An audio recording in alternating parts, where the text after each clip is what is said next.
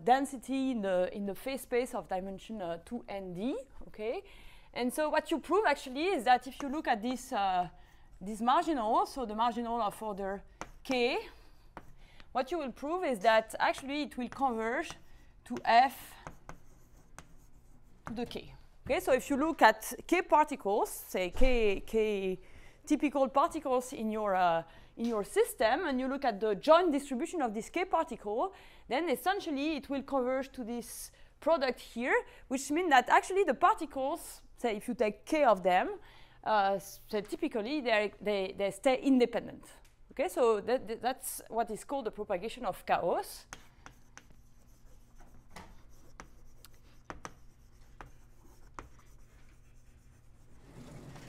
Okay, and so um, now this is uh, this is uh, essentially uh, the, the the law of large numbers for this system in low density regime. Okay, so I, I, I didn't uh, write it uh, today, but uh, it's it's exactly like yesterday. So of course this this is only in the low density regime.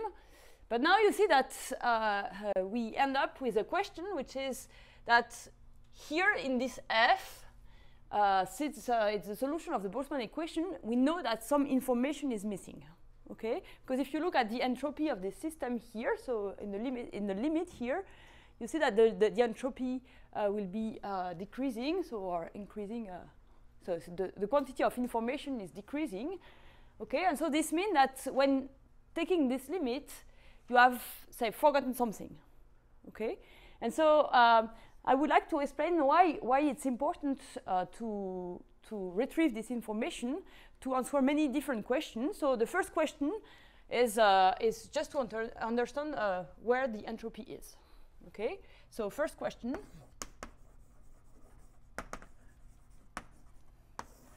Um, say we would like to, to understand something on the cascade of entropy. So where is the missing information?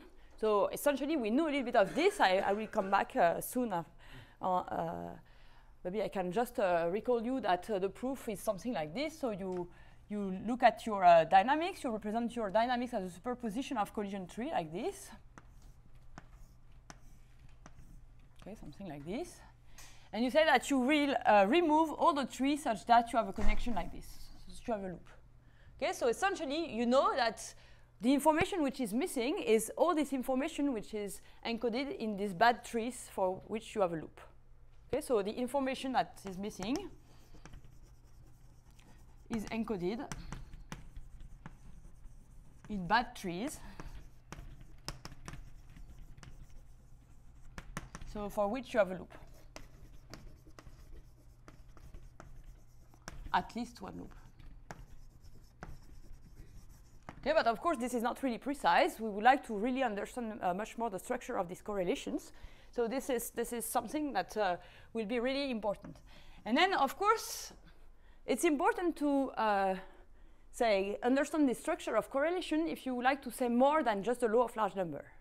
Okay, so if you would like to say something about the small fluctuation around this, this law of large number, so small fluctuation around the Boltzmann equation. So what you say that with say with almost probability one, you will uh, have a dynamics which is well, well, described by the solution of the Boltzmann equation. But of course, this is a, this is this is uh, an average, and so you have some fluctuation around this. And if you would like to characterize this fluctuation, of course, you need to understand a little bit more than just this first approximation. Okay, so if you would like to uh, describe fluctuation around the average dynamics.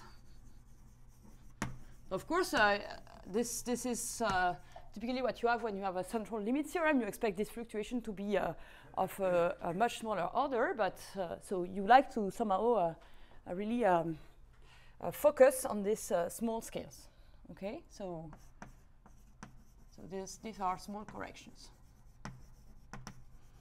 Another thing that you could be interested in is to say, okay, now sometimes it may happen that I observe something else than this uh, Boltzmann dynamics. Okay, it's of course uh, even though it will uh, uh happen uh, with probability of one, it's just almost one. So something else uh, could happen. So for instance, if you just just look at the reverse dynamics, so you, you look at uh, dynamic, of course, if you just look at the reverse dynamics, it's one possible dynamics, and you see that you will so see something which is which has very uh, low probability, but still it can exist. Okay, and so what you uh, would like to do is just to characterize and to to measure the probability of ra rare events.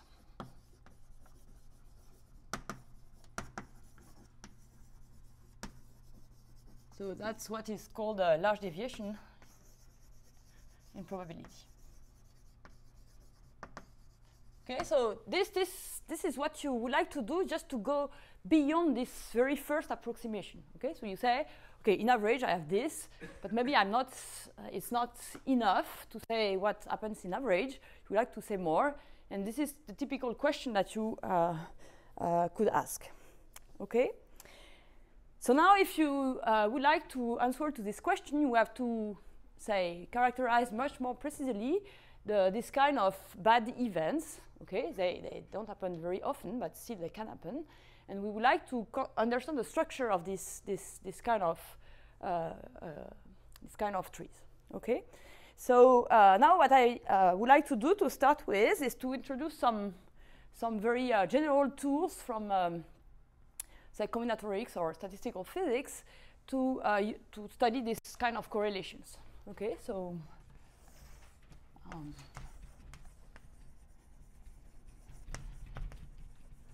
and then I, I will show you how to, to use them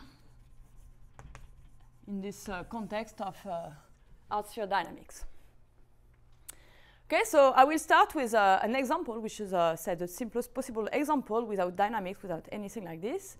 And uh, so actually this example is uh, related to, for instance, the, the, initial data. So assume that you have still this uh, system of uh, hard spheres or any, say, relation that you have that, um, and you say that you are interested in this function here, so gn, which is the product for i different from j, that uh, of the indicator function that say i is, uh, I will denote this like this, is not close to j. Okay, so this can be, uh, for instance, can be that uh, the distance between uh, xi minus xj is bigger than epsilon. But this epsilon is small.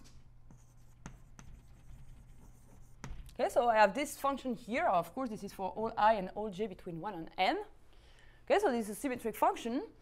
And of course, if epsilon is very small, of course, if it's 0, it's very easy because it's just 1. Okay, But of course, if epsilon is, is very small, then what you expect is that it will be almost 1. Okay, so in first approximation, this guy will be 1 See, if you fix n and you let epsilon goes to 0, then this guy is almost 1.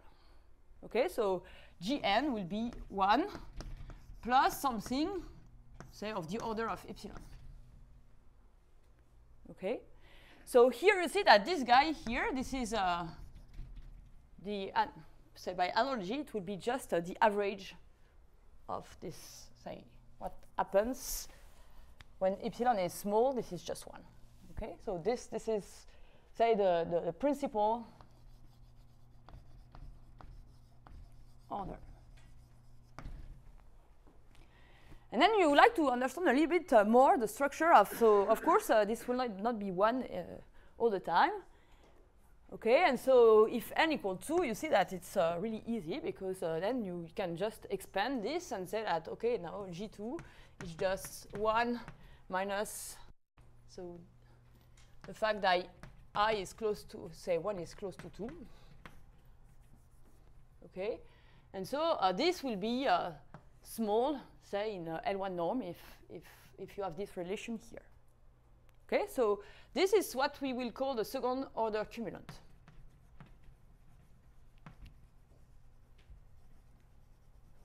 So it tells you that, say, that the first correction is due to some uh, to some yeah, to some correlation between particle 1 and particle 2 if they are close to each other, then of course you have this small correction.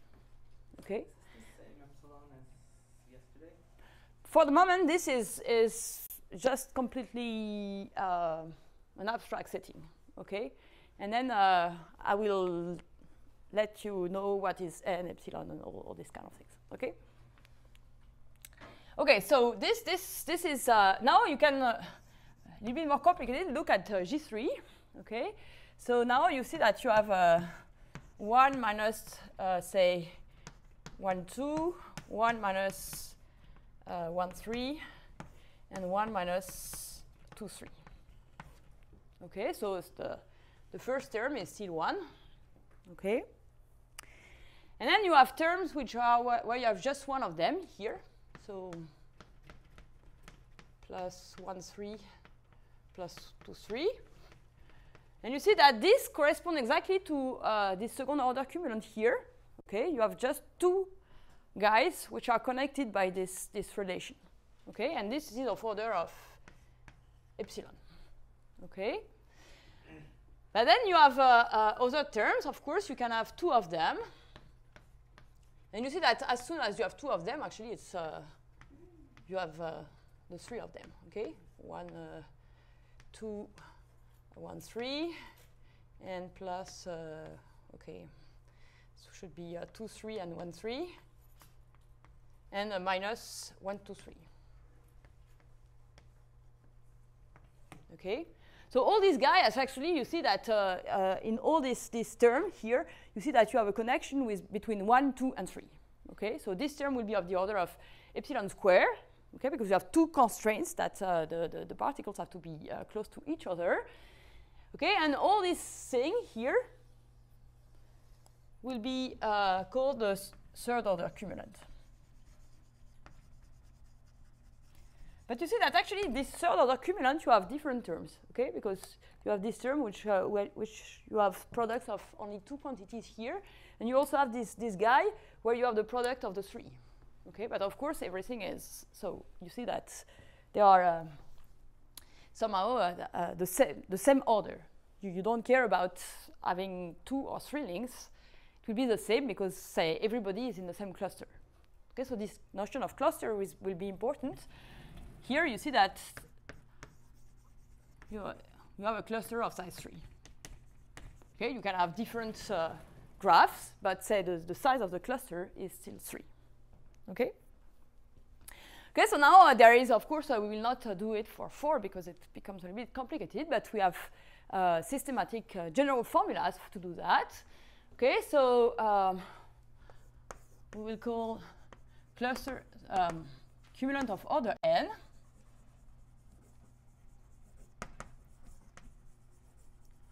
So I, will call uh, a small g, uh, gn.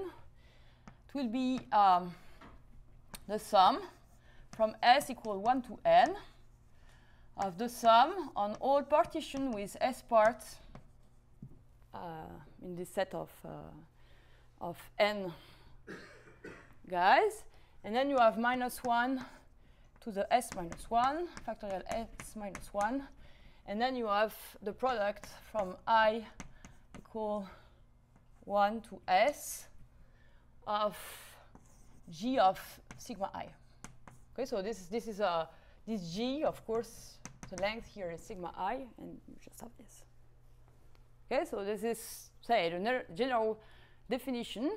Okay, so if you can just uh, check that uh, G2 will be exactly uh, this guy here, and G3 will be exactly this guy here, but of course, you can define all of them. Okay? So what is important with this, uh, this definition of cumulants, So there are many properties which are important. So the first one is that once you have all these cumulants, you, you, you know all the information. Nothing is lost. Okay, of course, if you have just uh, the first two cumulants, you know a little bit more than, uh, than just with just the first one, but uh, you see that there are some correlations that are missing. Okay. Now, if you have all these cumulants, then you can recover uh, the whole information because you have this inversion formula. That uh, capital Gn will be the sum from s equal 1 to uh, n, the sum of all partition of uh, the product from i equal 1 to s of small g of uh, sigma i. Okay, so this means that once you know this family, you, you have all the information. Nothing is lost. Okay, so all the informations is encoded in the family of cumulants.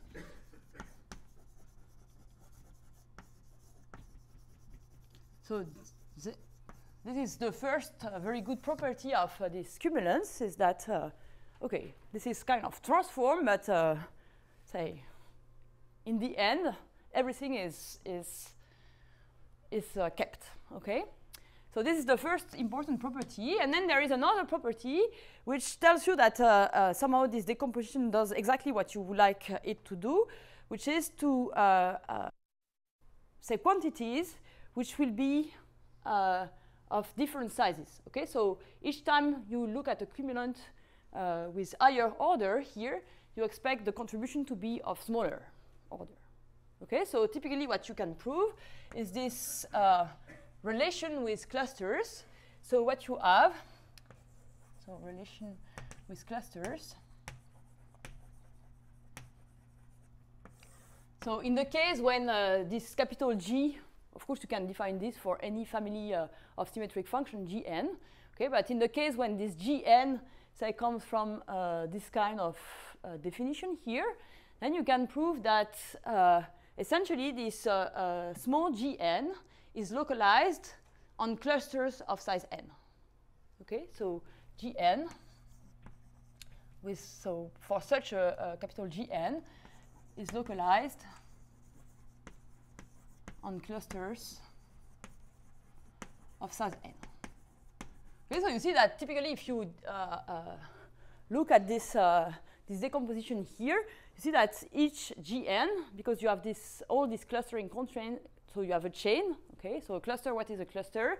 Cluster means that uh, essentially uh, your, uh, your graph is connected, okay? So you have a connected graph, okay? So the cluster is just a connected graph, which means that you can have a chain.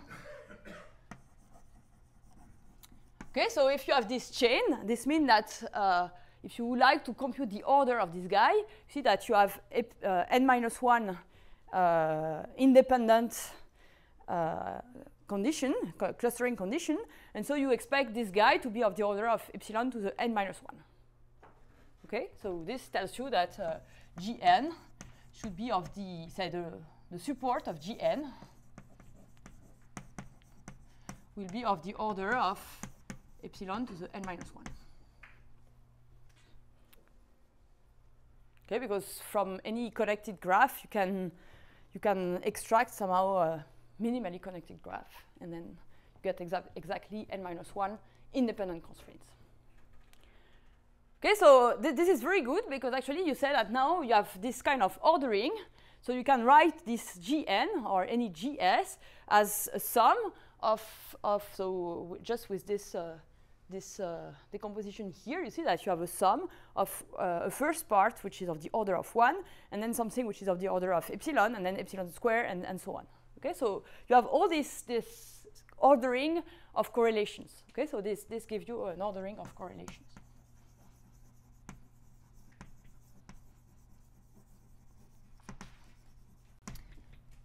And so actually this, this, uh, this uh, have been uh, studied for a while, and there, there is something which is uh, really important, uh, which is the fact that, see that if you start writing things like this, this is actually very bad because if just, just count the number of terms here is very uh, large compared to the, the actual size of the guy.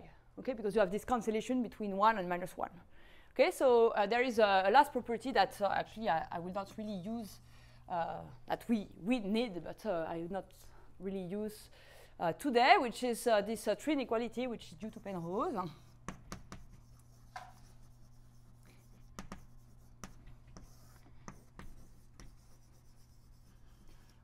which tells you that uh, you, you can count the number, say, the size the L infinity size of this guy here. So still uh, starting from this uh, this uh, this same de definition of capital Gn, and you see that actually if if you count say in a silly way, you will have essentially an estimate here with a, a, factorial n.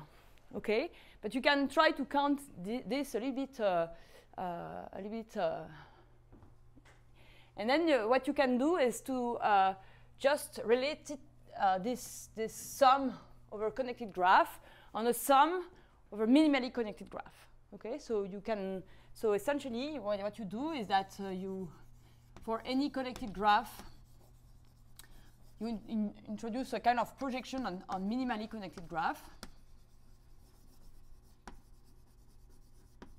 So you have to, to define this, uh, this embedding. Okay, of course, it's, it's, it's clear how we can. Uh, and then you can prove that uh, you have you can uh, use this cancellation between plus and minus, and say, say in the end, what you can prove is that essentially it will be uh, uh, not bigger than factorial n. Okay, so essentially what you can prove is that, uh, okay, maybe I will not, uh, so, so this, I would just say that uh, uh we can take advantage of the cancellation.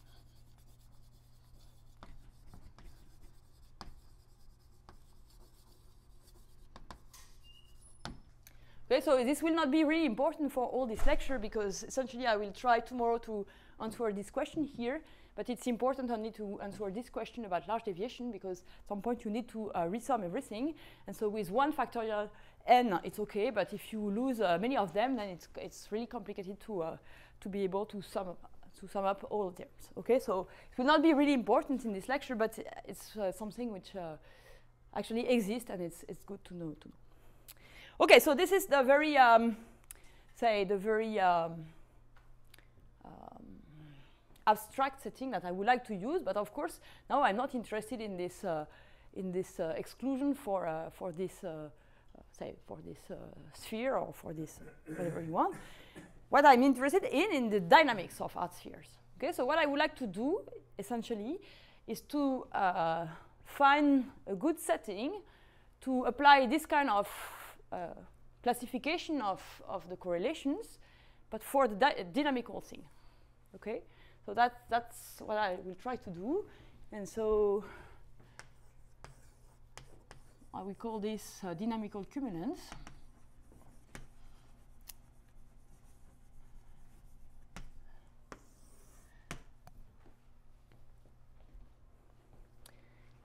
Okay, so um, typically what I would like to um, so actually, there are many uh, different types of dynamical cumulants. I will start with the simplest possible one, which are just uh, uh, dynamical cumulants for uh, between, say, uh, which are uh, space correlations. Okay, so if I'm interested just in space correlation for the, for the moment, so what I would like to compute is something like the expectation. Okay, so for this measure that of, say, I will try to have something like this. So I will have this guy, say I test this on the first function h1. So this is uh, now it's uh, uh, zi of t. So zi is uh, both the, the, the, the position and the velocity of my particle number i. And I multiply this.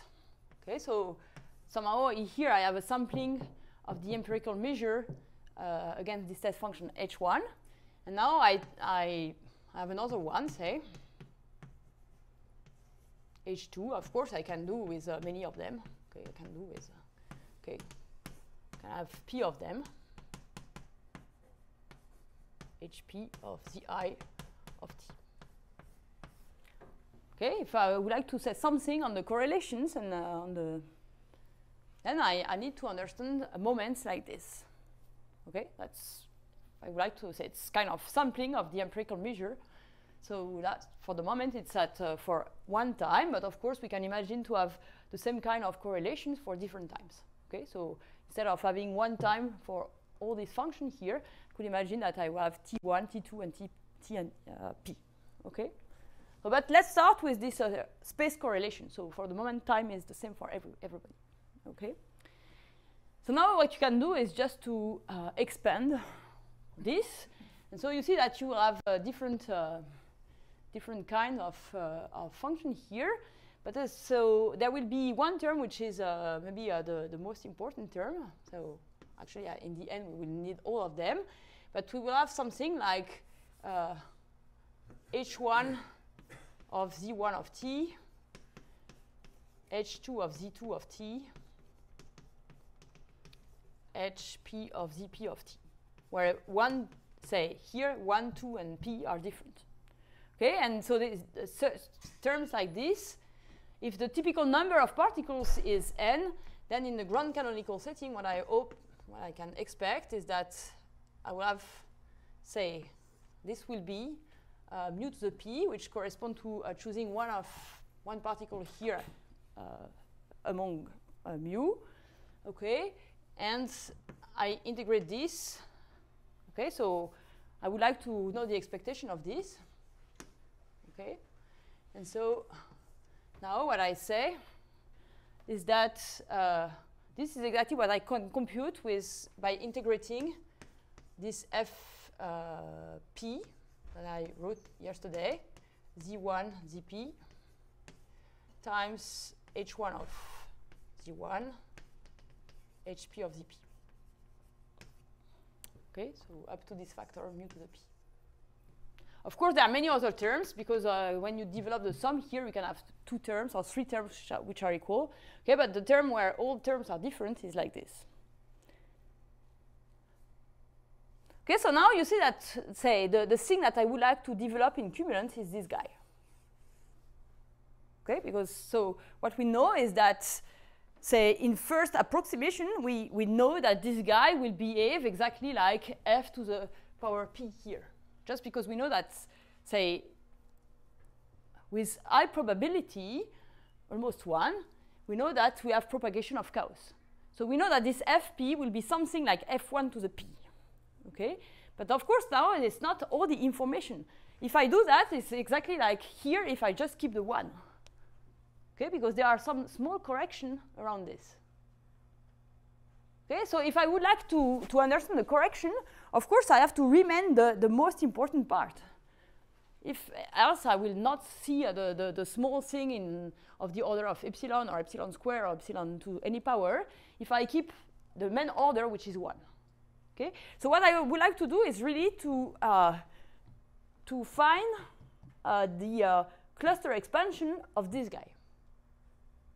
Okay? So that's exactly what I, uh, what uh, my goal is now, is to start from this guy, okay?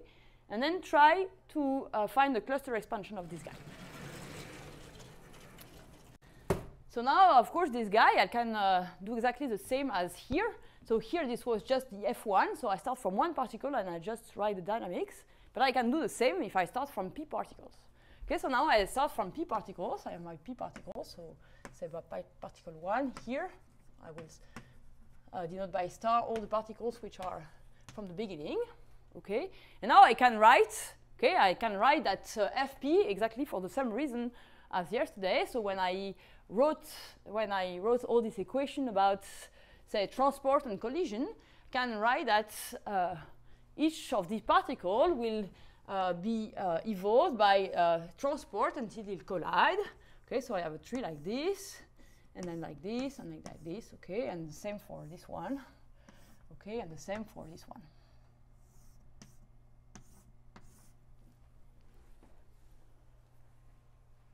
Okay, and so um, the fact that fp will converge to f to the p tells you that essentially these trees, okay, at leading order, they just exist independently from each other. Okay, so if you have exactly a product, this tells you that essentially you can put one tree here, one tree here, one tree here, and then you can move them uh, independently from each other. Okay, so that's that's exactly what what's would be the case if you have exactly a product. Okay? So, And now, uh, of course, uh, each of these three will have exactly the same structure. So what we have seen here today is that what we can, can cancel at leading order is uh, what we call here an internal recollision. So inside a tree like this, we know that the probability of having uh, this, this uh, bad recollision is small. Okay, so this I will call internal recollision.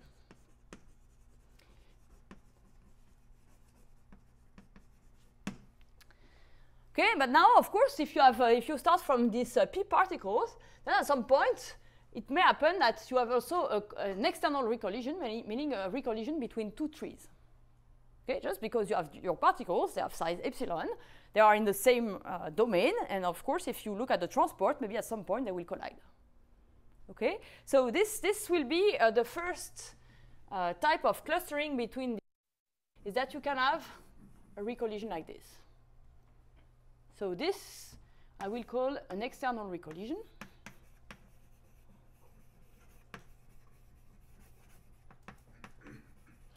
Of course, uh, I, I, should say that uh, you see that uh, there are many uh, say parameters, which are the uh, integration parameters. So both the number of collision, the time, uh, the, the velocity, the impact parameters. So all these are integration parameters.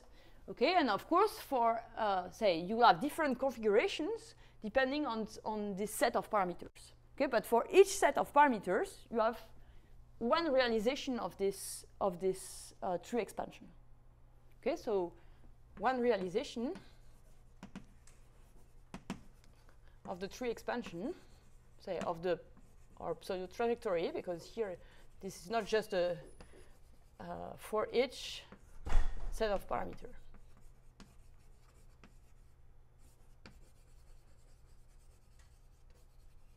And so now what I would uh, like to do is to say that, okay, I, uh, so I can say that this FP is the sum of over all these, all these parameters of, say, the initial data, uh, which is reached here at the bottom.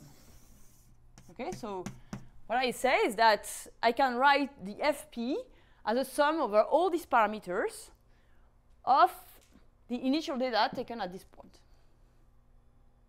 Okay? But now what I would like to do is to say, okay, I have this big, big integral, big, big sum over all parameters, but I will just split this sum in many uh, different uh, terms. And by just doing this, what I would like to, to uh, find is this cluster, uh, this cluster structure.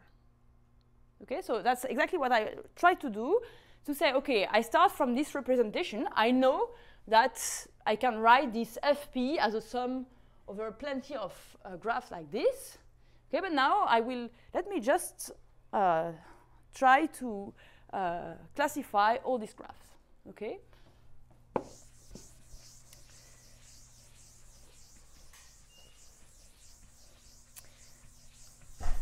So now I will try to explain how we, we classify all these graphs. So I will uh, kind of use a little bit um, uh, abstract notation because, uh, say, all the details, the technical details of this are not really interesting. Okay.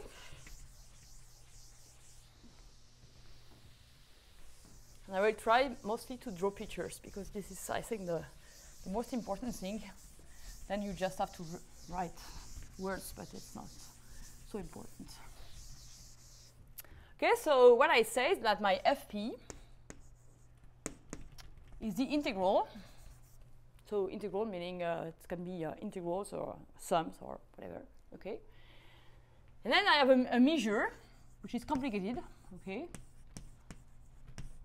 So this measure is a measure over uh, the set of all parameters. So I, I, maybe I should recall uh, what these parameters are. So you have the, the, the tree structure.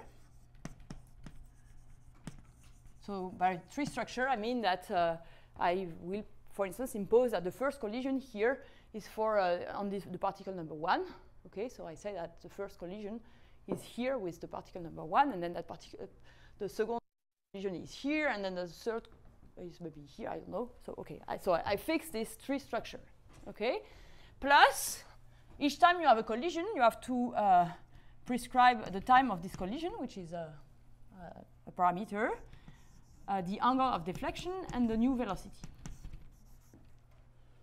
And uh, as many times as you have uh, as you have collision, you have to prescribe all these things. Okay, so this this this is really a big uh, sum. Okay, and then what you have is um, plus so you have also in this measure here you have all this uh, cross section. Okay, so you have the okay maybe I can put it here. So the cross section here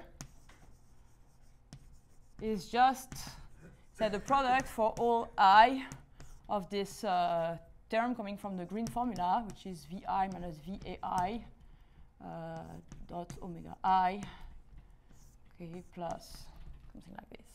Okay. And this is, of course, at time ti. Okay, so this is, okay. Anyways, just a, a weight. So maybe I can just change the measure here. It's not really important. And then what I say is that, okay, I will just look at this uh, psi n. So psi n is really all this, uh, all this uh, graphical representation. And what I have to do is just to say that I will take f naught, so f naught of psi n. Okay, so of course this uh, f naught, I don't precise here, say the, the, the, the label of uh, the marginal because it depends on how many collision I have. Okay, so this. Okay, so now what I, uh, I would like to do is to split uh, this set of parameters here and to say that depending on, on which uh, set I am, I, I will have a different structure. Okay, so the first reason why I will separate things is that so I will have some trees like this. So maybe this, this is p minus 1, say and this is P. And for instance, I can assume that I, I have also a recollision here. Okay, so so of course, if you have a recollision here, you see that in order to, to, to, construct the trajectory here for uh, times which are below this recollision time, you need to know th that you have this recollision. So you cannot construct, say, uh, this part of the tree, this, this uh, the, the part below here, without knowing the parameters for this tree here. Okay, so this means that these two trees, you cannot say, you cannot construct the trajectory independently uh, with, say, construct this one and this one separately. Okay, so what I will call a forest is just a set of trees which are connected by external recollisions. Okay, so we define a forest. This is a set of trees which are connected by non-recollision.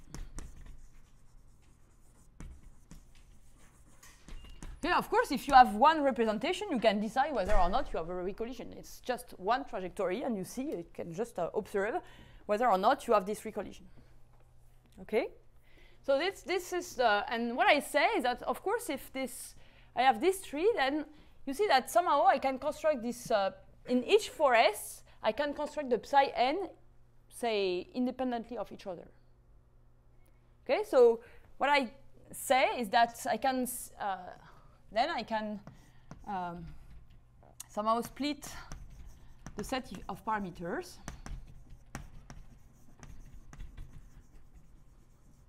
parameters. Okay, so assume that I have uh, uh, L forest Okay, and then I can say that uh, psi n will be just psi lambda 1, psi lambda l. Okay, if I have L for S, then I can construct all these small parts of the pseudo trajectory just independently from each other. Okay, I'd say that, okay. So this, this is one, one way of connecting two trees, okay? So this, this you see, you, you choose really um, uh, think about this, uh, this, uh, this recollision here as a clustering, exactly as in the abstract setting, as one possible clustering be between uh, two trees.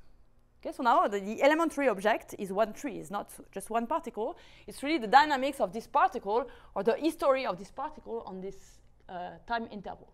Okay, so one object now is one guy like this. Okay, it's not just a particle, but really all the dynamics on this uh, time interval. Okay, so now I have this forest. So this is a forest, and this is another forest. Okay, so so this is the first way I see the uh, kind of connection. But now you see that being not in the same forest doesn't mean that you are independent. Okay, because of course you see that I have this forest, so I can can construct my pseudo trajectory. Uh, I'm fine. I can construct this pseudo trajectory here. I'm fine as well. But you, you see that they are not independent. Because if really I move all this thing, see that at some point I could have uh, an overlapping between this one and this one, and then it's not, it's not permitted. Okay, so it's not completely true that, okay, so this means that you have, for instance, condition here on the roots of, of, the, of, the, of the forest in order that you have no overlapping between this, these two trajectories. Okay, so it's exactly like, like uh, in, in the case of uh, the exclusion of particle. Here, this is the exclusion of forest. You say that, okay, I'm not being in the same forest is not being independent. It's 1 minus uh, having an overlap. Okay, and this is exactly what I would like to develop. Okay, so now I, I will introduce a jungle. and then I will stop.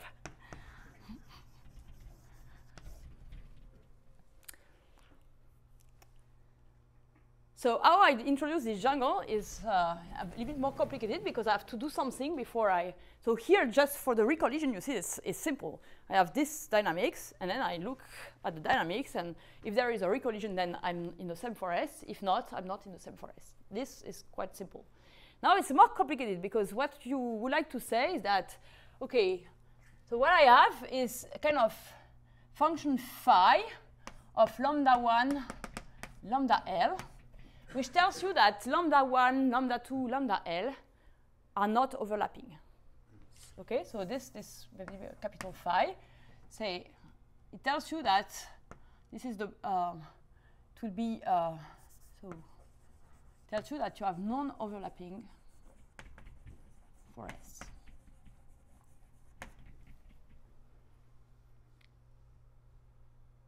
Okay, so what I say that I can rewrite the formula here as something like the product of the mu psi L lambda, okay, for all this lambda i equal 1 to L.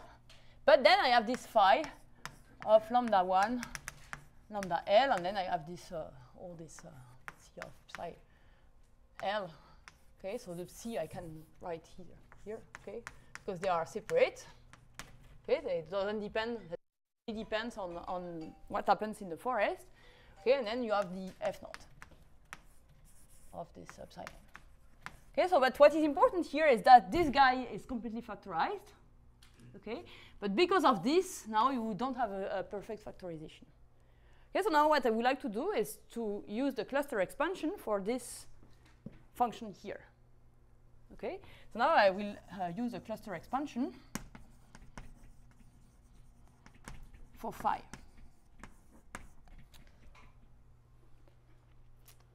So what I can uh, do is to write phi, so this is a phi L here. Phi L will be the sum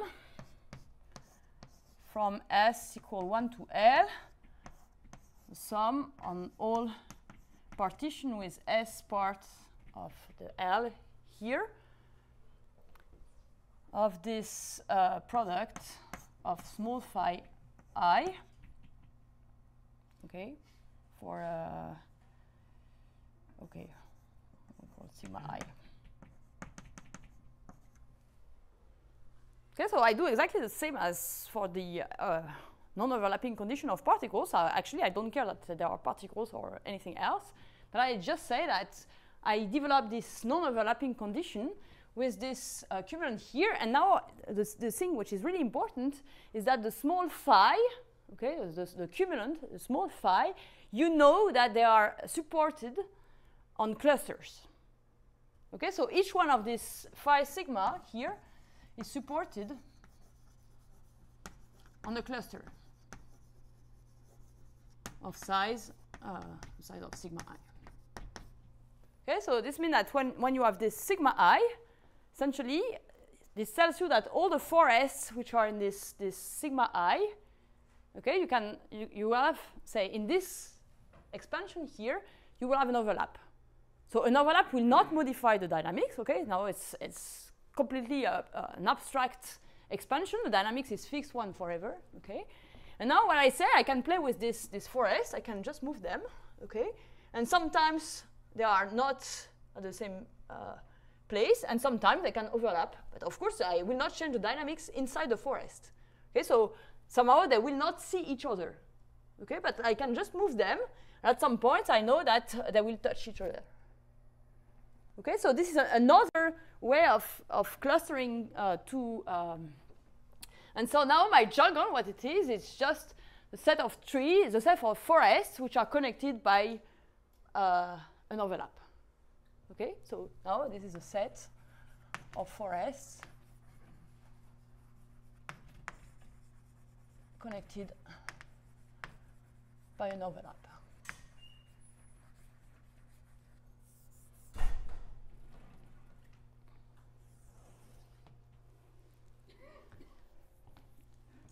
So actually, I'm not completely done because I, there, there is still one uh, possible connection, which is with the initial data, but I will not. Okay, there is actually a third, a third uh, step. So here I have a first connection with the recollision, a second connection because of overlap, and then uh, normally I should have another connection because this guy here, of course, I have also to uh, to expand. Okay to see whether or not we have connection in this in this part. Okay, but because it's not perfect, say if this guy was uh, uh, just a product at the uh, at the beginning, then then I would be done. But of course, because of the non-overlapping condition for the spheres, it's not an exact product. Okay, so there is still some work to be done, but okay, we will just uh, forget about it for the moment. Okay, so now uh, are you happy with this uh, decomposition? So now I can rewrite this here and I will have, uh, so I, have to replace this phi by all this formula here, okay? But now I can uh, define the, this dynamical cumulant to be uh, just, so the dynamical cumulant of order p here will be uh, uh, the part, okay, which correspond to uh, having a connected graph here. So meaning that you should, in the end, have everybody in the same jungle. Okay, so now the dynamical cumulant of order P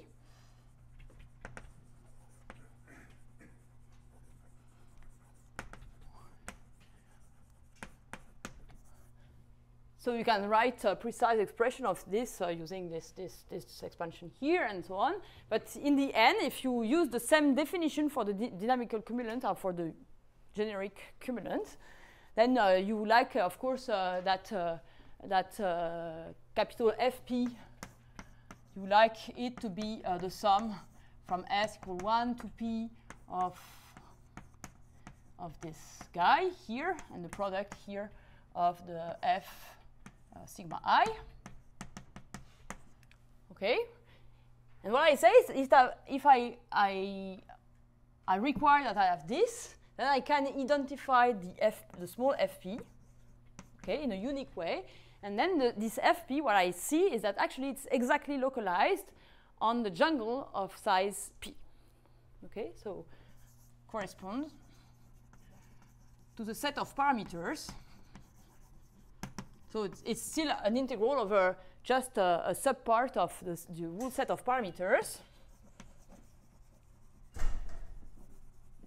Such, such that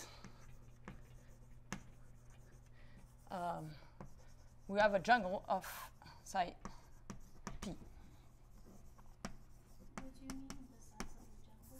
So the number of trees which are in the jungle. So for each forest, I have a number of trees in the, this forest, and then I add this number. And so what I would like to have, so what I say is that I have a, I have a jungle of, of size p if actually all these trees are connected either by a recollision or by an overlap. Okay, so this means that I will have p minus 1, at least p1 pi minus 1 clustering constraints. So what is important really here is that I, I have this connected uh, structure.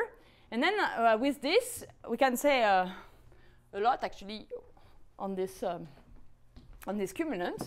So what we can prove actually is the following uh, theorem.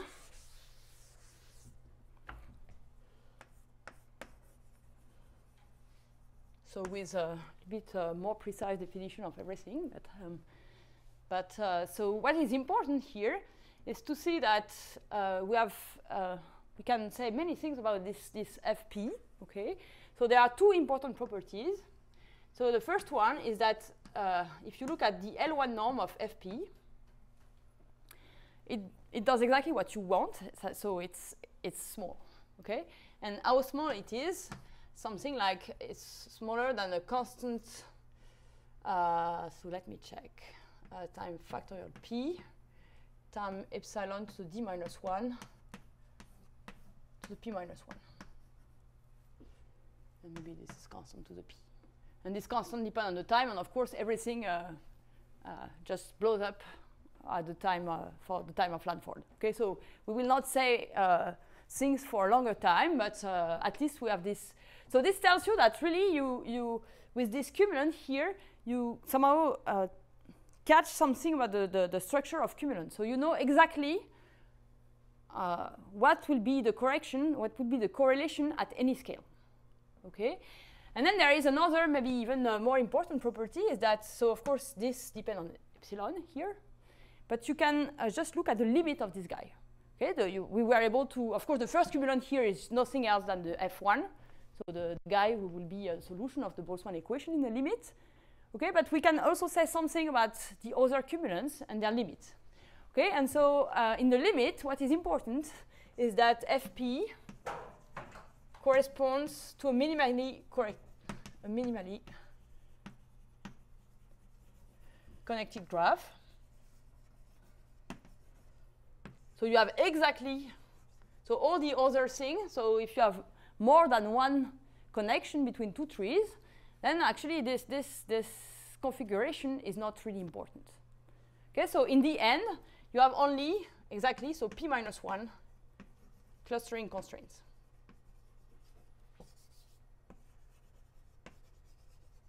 So of course, in order to have uh, the limit uh, of this guy, you have to rescale by this factor here, as you don't see anything. But Okay, and so maybe I can uh, just uh, draw a picture of this, and, and, and I have five minutes to explain what you have to do to prove such a property. What, what did you say the time? You can, this L1 is a spatial L1. No, L1 is uh, L1. No. Uh, but where? You have space and time. Uh, no, for the moment the time is fixed. Time is fixed, but what, what is the time scale? I, I, look at any time which is smaller than the Lanford time. So the time for which uh, I'm not able to resum the, the series. Yeah. I can have, unfortunately, we are not able to, because we have uh, all these uh, series and uh, we're not able to resum this for a longer time. It's, I, I know it's a pity, but that's. And, and, and in this bound, you've already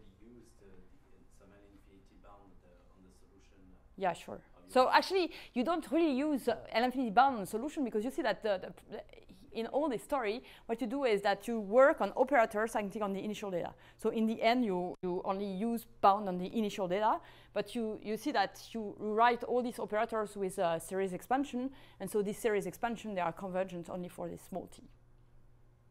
So it's not really, it's not really as looking at a, a priori bound on the solution, but it's okay. It's Cauchy-Kowalevski. Okay, so maybe uh, let me just uh, uh, say something about, uh, about the proof of, of this. So um, the idea is the following, is that if you have your tree, so something like, so now I say that I have the same time. Okay, so let's just do it with three. Okay, so I know that a cumulant is represented by a, a by a, jungle like this, meaning that here I have two, at least two, um, at least two points, two connecting, two clustering points. Okay. So now you see that the way you can estimate the, the norm of this of this guy is to say that in order that you have this clustering here, so either you have to have a recollision, okay, or you have to uh, get an overlap. Okay, so start. Let's start with the case of recollision. Uh, overlap is essentially the same. So what you do is that you say, okay, let's me fix this this tree here, okay, or at least all the upper part of the tree, and then what I will do is just, you know, uh, move the the root of the tree here until I will collide this tree, okay. And so you see that if you do that, essentially what is important is the is the size here of the corridor for which you will have a collision. Okay, so this is a very uh, simple geometric picture. You have just like a cone, okay, and you say that in order that you can have this this recollision between the two uh, trees, then you have to move a little bit this this root here. But what is really important is that you really take the tree as a, a rigid structure and just move all the tree. You don't try to change a little bit all these uh, collision parameters. You fix the collision parameters, and then what you do is just change uh, the, the, the, the, localization of the root of the tree. And just have this rigid motion of the tree. And then it's, it's easy to see that, uh, say, uh, having this uh, constraint here is something that you can, uh, so for each one of these constraints, you will gain something like epsilon to the d minus 1. Okay? Just because uh, this is, uh, okay, you just write the equation that uh, xp, xp minus xq, okay, minus uh, t times uh, vp minus vq has to be equal to epsilon omega. Okay, this is the, the equation for the for the collision.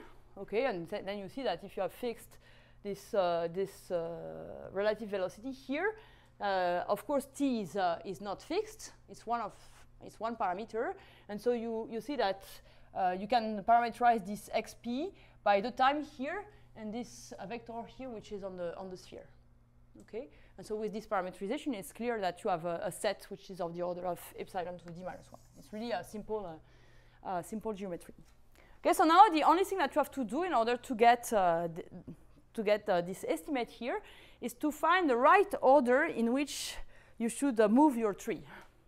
Okay, but of course you see that if I move already this one, okay, in order to have this collision, then I cannot uh, move this one to have another collision with this one. Okay, if I have moved, uh, see if I uh, have used, say, uh, the, the, the, the, so say th this will be uh, uh, the, the tree P here. If I have move, moved P to, to get the, this, this, this, the realization of this, this, this clustering here, I cannot move P once again. Okay, I, I need to have to identify independent variables. Okay, so now the, the, the, the essentially the proof here, so the proof relies on, say, um, a process to procedure to uh, identify uh, independent, so so yeah, independent uh, integration variable.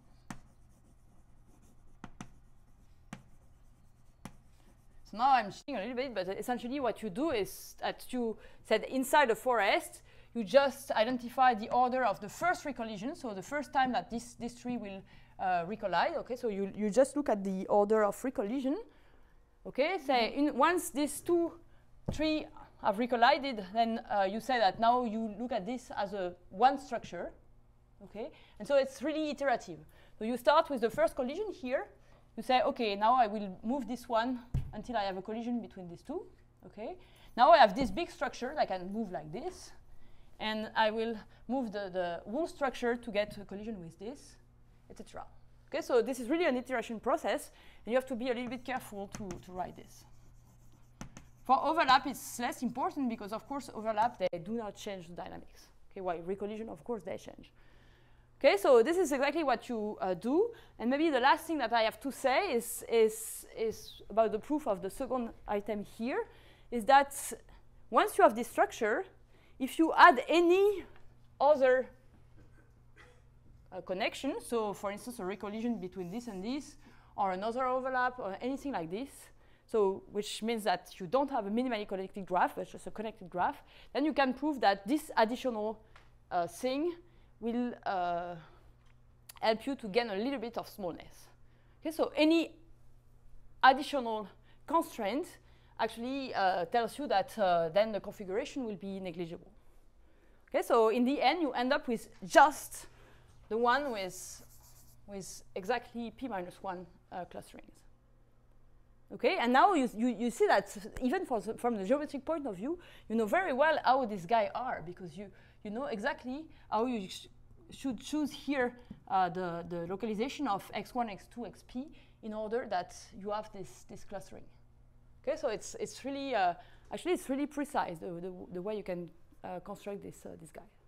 Okay, I think it's time to stop and tomorrow I will try to uh, use this characterization of, uh, it's not tomorrow, it's um, on Thursday, to tell you how, how we can use this, um, this, this, precise characterization of, uh, of correlations in order to uh, obtain this central limit theorem.